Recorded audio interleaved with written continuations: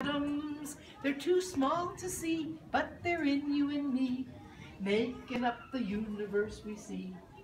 Whether rock, tree, or flower, little atoms have such power. 93 kinds, and all of them fine, making up the universe we see. Each one has some protons and some neutrons circling around an inner space. And the highly organized electrons live in separate shells and keep their place. When the atoms get together, they are lighter than a feather. Impossibly small, they combine to make all the matter in the universe we see.